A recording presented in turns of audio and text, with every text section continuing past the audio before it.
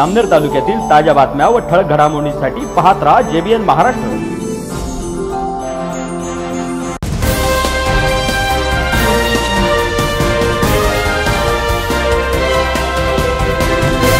नमस्कार मी प्राजक्ता खरे पाहूयात ते ठळक वृत्त. जामनेर शहरातील आशीर्वाद हॉस्पिटलमध्ये कंपाऊंडरने दाखल महिला रुग्णाच्या कानशिलात लगावल्याची घटना घडली आहे. जामनेर शहरातील बिस्मिल्ला नगरातील रहिवासी समरीन सय्यद तोफिक या महिलेस आशीर्वाद हॉस्पिटलमध्ये उपचारासाठी दाखल करण्यात आले असता महिलेला सलाईन लावताना महिला आरडाओरडा करत असल्याने तेथील कंपाऊंडर ज्ञानेश्वर पाटील याने महिलेच्या कानशिलात लगावली. याची तक्रार सदर महिलेने जामनेर पोलीस स्टेशनला केली आहे. या घटनेनंतर संतप्त महिला रुग्णांच्या नातेवाईकांनी हॉस्पिटलजवळ जमाव करून आरडाओरडा केला. यावेळी वृत्त संकलन करणाऱ्या पत्रकाराच्या अंगावरही धावून जाण्याचा प्रयत्न महिलेच्या नातेवाईकांनी केल्याने घटनास्थळी दाखल पोलीस प्रशासनाने जमावावर सौम्य प्रतीचा लाठीचार्ज करत जमावास पळवून लावले. तर संबंधितांवर जामनेर पोलीस स्टेशनला गुन्हा दाखल करण्यात आला आहे.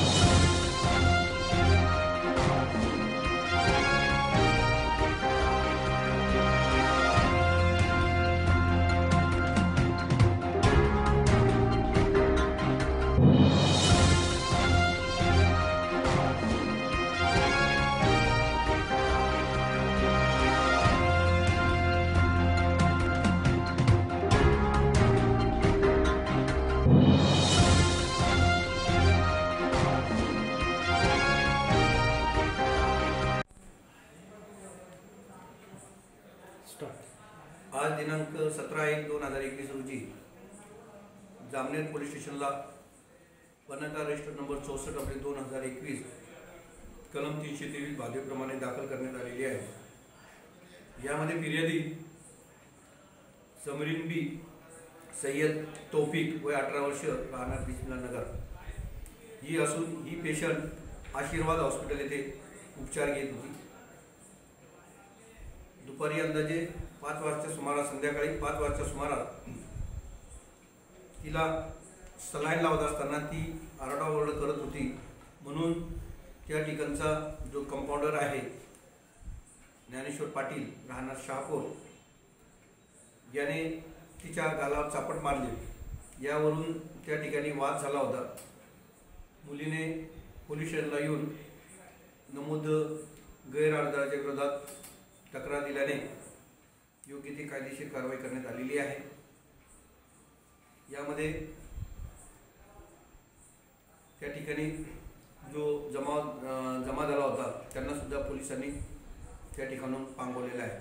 कन्सल्टंट फिजिशियन आहे मी आशीर्वाद हॉस्पिटलला आज आमच्या इथे अडीच वाजता एक पेशंट आम्ही ॲडमिट केले. त्या पेशंटला मेंदूज्वर सारखे सिम्पटम्स होते. म्हणजे जसं ताप येणे डोकं दुखणे आणि बिहेवियरमध्ये चेंज होतं पेशंटच्या तर ते पेशंट आम्ही आय सी यूमध्ये ॲडमिट केलं. ॲडमिट केल्यानंतर सर्व ट्रीटमेंट वगैरे व्यवस्थित मी लिहून दिली. त्याच्यानंतर पेशंटचे काही इन्व्हेस्टिगेशन मी ॲडवाईस केले. जसे रक्ताचे काही नमुने असतील काही सी टी स्कॅन असेल ते सर्व आम्ही करून घेतलं. ते केल्यानंतर संपूर्ण ट्रीटमेंट व्यवस्थित चालू झाली. परंतु पेशंटला मेंदू ज्वर सदृश्य ताप असल्यामुळे पेशंटचं बिहेवियर हे थोडंसं व्हायलंट होतं. व्हायलंट असल्यामुळे पेशंट मोठमोठ्याने आवाज करत होतं. आरोळ्या मारत होतं. त्यामुळे बाकीचे जे पेशंट आहेत आमच्या इथे हृदयरोगाचे पेशंट असतात तर ते पेशंट डिस्टर्ब होत होते. म्हणून त्या पेशंटला आम्ही साईडच्या आय सी यूमध्ये ट्रान्सफर करण्याचा निर्णय घेतला. तर साधारणतः आम्ही एका तासाने एक दीड तासाने ते पेशंट मेन आय सी यूमधून साईडच्या आय सी यूमध्ये शिफ्ट करण्याचा निर्णय घेतला. माझ्या खाजगी कामानिमित्त मी एक तासभर बाहेर गेलेलो होतो. मी ते आमचे असिस्टंट डॉक्टर डॉक्टर पूजा म्हणून इथे उपस्थित होते. आणि सर्व काही व्यवस्थित चालू होते. परंतु साधारणत एक तासा दीड तासामध्ये मला फोन आला की इथे नातेवाईक मोठमोठ्याने हल्ला करत आहेत शिवीगाळ करत आहेत. कोणी शटरवर आमच्या हॉस्पिटल फोडण्याचा प्रयत्न करत आहेत. असं मला जेव्हा कळलं तेव्हा मी प्रताप इंगळे साहेबांना फोन केला की साहेब तिथं तुम्ही पोलीस पाठवा. साहेबांनी पण तत्काळ पोलीस आठ दहा पोलीस इथे पाठवले. त्याच्यानंतर शांतता झाली. पुन्हा नातेवाईकांना मी शांत करून सांगितलं की बाबांनो पेशंटला पेशंटच्या नातेवाईकांचा आरोप होता की बाबा आमच्या तुमच्या कर्मचाऱ्याने काहीतरी मिसबिहेव केलं. पण मी जेव्हा आमच्या कर्मचाऱ्याशी बोललो तर कर्मचाऱ्याचं असं म्हणणं होतं की मी जेव्हा पेशंटला शिफ्ट करत होतो तेव्हा पेशंट मला हाताला चावा घेण्याचा प्रयत्न करत होती. मग हाताला जेव्हा चावा घेण्याचा प्रयत्न करत होती तसा त्याची नॅचरल रिॲक्शन म्हणून त्याने ते हात झटकला. तसं कदाचित एखाद्या वेळेस पेशंटला कुठेतरी काहीतरी लागलं असेल कदाचित लागलं असेल मला ते डिटेल्स माहीत नाही. मग त्याच्यानंतर नातेवाईकांनी जोरजोरात इथे हा हे सुरू केलं. तर आरडाओरड सुरू केली शिवेगाळ सुरू केली.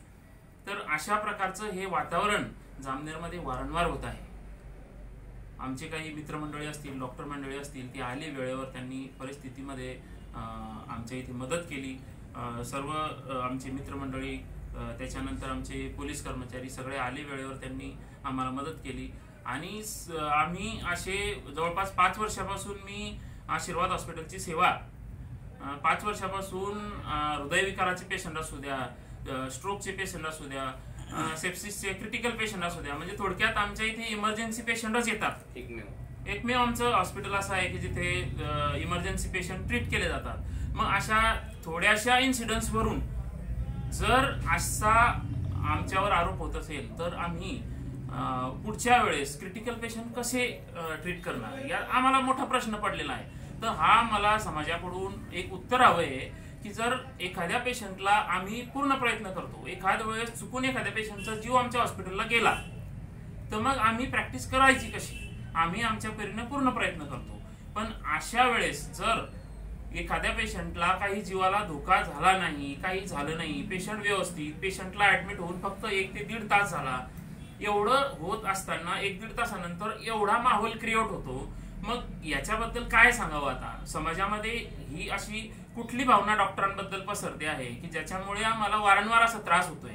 तर मला आपल्या प्रशासनाकडून आपल्या जे मोठे मोठे राजकीय नेते असतील तो कोणत्याही पक्षाचे असू द्या बीजेपीचे असू द्या राष्ट्रवादीचे असू द्या मला पक्षाशी घेणं देणं नाही.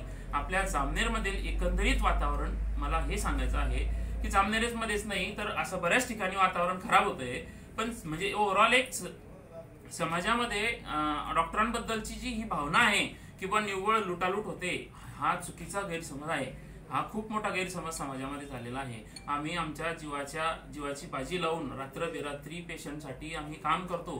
रात्री बेरात्री आम्ही जागतो. आमच्या फॅमिलीचं लाईफ आम्ही धोक्यात घालतो. कोविड सारख्या वेळेस मी कोविड सेंटर चालू केलेलं होतं. माझं लाईफ मी माझ्या फॅमिलीचं लाईफ माझ्या आई सत्तर वर्षाची आई आहे तिचं लाईफ मी माझ्या धोक्यात घालून मी इथे काम केलेलं आहे. अशा प्रकारचं काम करून सुद्धा जर असं होत असेल तर मग आम्ही काय करावं हे मला सर्वांकडून एक उत्तराची अपेक्षा आहे. आणि लवकरात लवकर आम्हाला डॉक्टर लोकांना याच्याबद्दल न्याय मिळावा अशी मी सर्वांना हात जोडून विनंती करतो. आणि हे कुठेतरी थांबलं पाहिजे. त्याच्याशिवाय डॉक्टर जामनेरमध्ये प्रॅक्टिस करू शकणार नाही असं मला वाटतंय. सर डायरेक्ट इनडायरेक्ट त्यांचा आरोप आहे की त्याने त्याच्या कान सुलीत लगावलेले आहे. याच्यावर आपण काय म्हणणार? त्यांचा जो आरोप आहे तो कितपत खरा आहे हे अजून प्रूव्ह झालेलं नसताना तुम्ही अशा प्रकारचा जर आरडाओरड करत असेल आणि दुसरी गोष्ट अशी की जर समजा कानसुलीत लगावली असा त्यांचा आरोप असेल तर त्यांनी रितसर पोलीस स्टेशनमध्ये जावं कंप्लेंट करावी. हॉस्पिटलमध्ये हल्ला करून हॉस्पिटलमध्ये आरडाओरड करून आणि दगडफेक करून बाकीच्या पेशंटला डिस्टर्ब करणे आणि एकंदरीत कायदा हातात घेणे हे कितपत योग्य वाटतं तुम्हाला? सर तुमच्या कॅबिनला सीसीटीव्ही कॅमेरा अटॅच आहे टीव्ही बरोबर.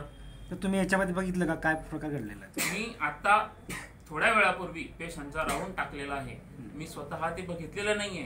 पण जेव्हा बघेल त्यावेळेस जर तो दोषी असेल तर त्याच्यावर आम्ही कारवाई करू. त्याच्याबद्दल काही नाहीये पण हा जो प्रकार घडतोय हा कितपत योग्य आहे? तर हा प्रकार जो घडतोय त्यांचं म्हणणं आहे की त्याने असं केलं म्हणून हा प्रकार घडतोय. नाही पण कितपत कायदा हातात घेणं कितपत योग्य आहे? मला हे म्हणायचं आहे.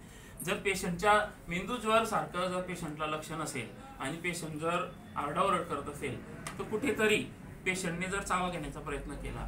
आणि मेडिकल फील्डमध्ये असं आहे की उगच कोणी कोणाला हे करणार नाही आणि ते तर आजारी पेशंट आहे त्याच्या सो- सोबत त्या कानसुलीत लागवण्याचा त्याचा त्या मुलाला काय त्याच्याने सॅटिस्फॅक्शन मिळणार आहे? म्हणजे मुद्दामून तो करणार नाही अशा प्रकारचं जर त्याच्या कडून एखाद्या वेळेस काही गोष्ट झाली असेल तर मी तेच सांगितलं की एखाद्या वेळेस त्याचा हातात ती मुलगी हाताचा ता- चावा घेत असताना त्यांना हात झटकला असं त्याचं म्हणणं आहे. तर जे काय असेल ते आपण पोलीस स्टेशनला मांडावं.